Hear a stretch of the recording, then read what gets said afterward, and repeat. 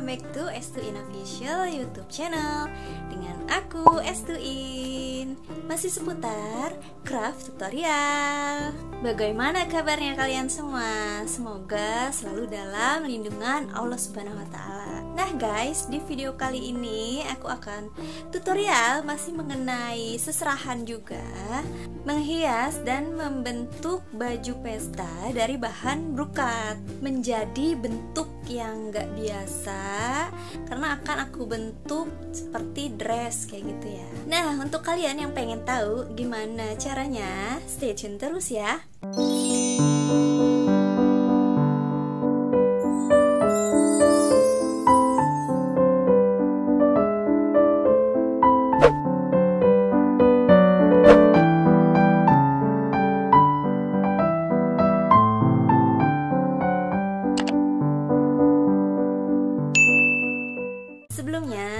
Support channel aku ya dengan like, comment, dan juga subscribe. Supaya insya Allah channel aku bisa terus berkembang dan akunya bisa terus semangat untuk berkarya membuat video-video terbaru yang lainnya. Dan juga jangan lupa klik tombol loncengnya supaya kalian gak ketinggalan informasi terbaru dari video-video yang aku upload terbarunya juga.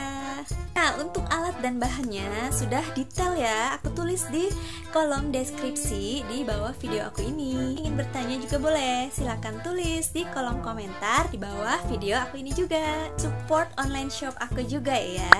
Di dot rumah kertas. Di sana banyak katalog-katalog dari produk-produk di rumah kertas yang lainnya.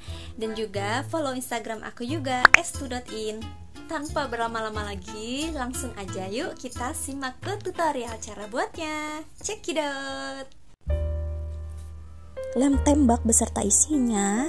Oasis kering yang sudah aku lakban bening, gunting, karet Jepang, solasi transparan, lakban bening besar, jarum pentul, standing akrilik ini ukuran A4, ranting artificial, bunga-bunga artificial, box seserahannya yang sudah aku kasih alas ya Kemudian ini baju pesta brokat beserta dalaman dan juga talinya.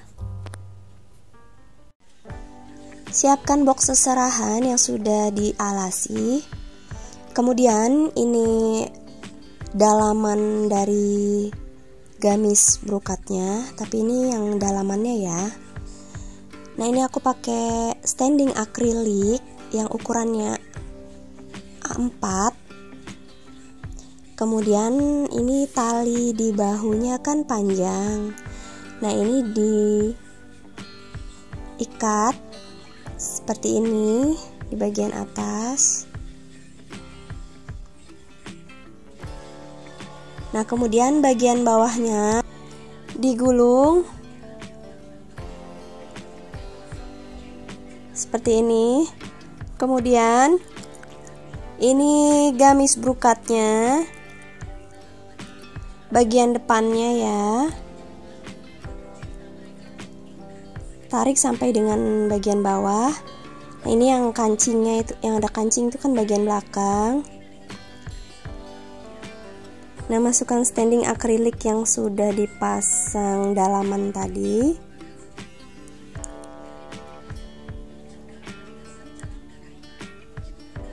Kemudian dirapikan aja karena ini gamis jadi kan panjang banget gitu ya. Nah dirapihkan bagian bawah sampai dengan bagian bawah. Seperti ini. Tampilannya bagian atasnya akan gini.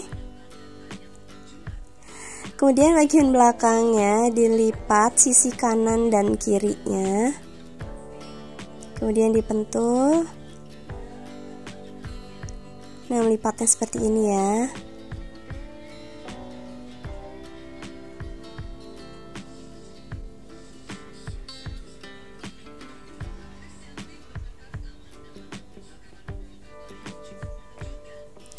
Nah, kemudian di bagian bawah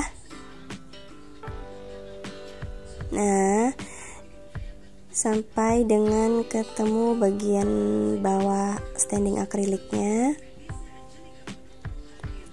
Kemudian tempel lakban bening dan alas box seserahan di bagian sisi sebelah kanan ya agak ke kanan karena nanti sebelah kirinya untuk bunga.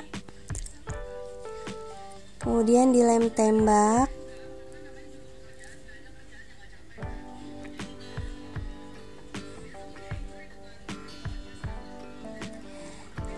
Dan ini dalamannya digulung ke dalam seperti ini sampai rapi nah ini furing. Jadi baju brokatnya ini ada furingnya dan juga ada uh, dalamannya gitu ya. Nah ini yang sedang aku pegang adalah furingnya. Diserut aja. Kemudian dipentul pelan-pelan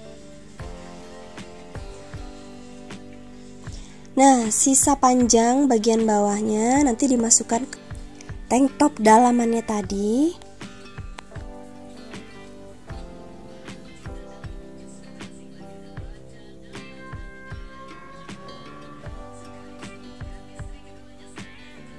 Nah, ini ditarik seperti ini.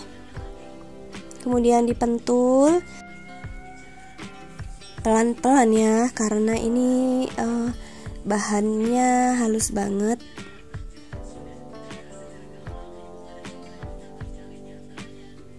Nah dirapikan aja ya. Ini adalah uh, brukatnya ya atau uh, utamanya ya baju utamanya gamis utamanya brukat.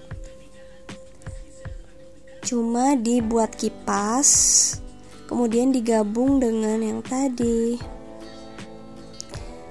ini kan baru bagian depannya ya. Nah bagian belakangnya pun sama. Tapi nggak begitu sulit seperti yang bagian depan karena uh, cukup digulung-gulung aja kemudian dimasukkan dan dirapihkan seperti ini. Hanya sama untuk kain baju brukatnya ini. Nah ini dibuat kipas-kipas kemudian ditempelkan seperti yang depan tadi ya dan hasilnya akan seperti ini. Kemudian di sisi sebelah kirinya alasnya tempel lakban bening kemudian di jarum pentul fungsinya supaya kainnya alasnya nggak goyang-goyang ya. Kemudian ini oasis yang sudah dilakban kemudian tempelkan. Dan ini kan tadi bajunya ini ada ada talinya ya. Kemudian talinya ini mau aku pasang seperti ini kan dia panjang ya. Nah jadi di pita seperti biasa. Cuman dibuat panjang.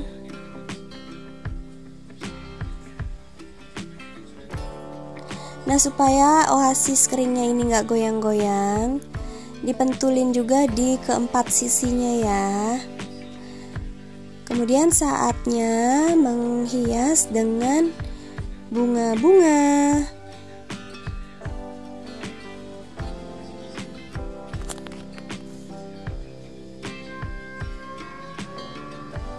Panjang pendek bunganya juga harus diperhatikan ya. Dan hasilnya seperti ini.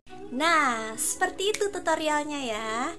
Semoga video ini bisa bermanfaat untuk kalian yang membutuhkan, untuk kalian yang baru mulai untuk membuat usaha seserahan, ataupun kalian yang ingin menikah dengan ingin membuat seserahan sendiri. Semoga dapat dipraktekkan juga video ini oleh kalian. Dan sekian dulu video aku kali ini ya guys. See you on next my video. Bye.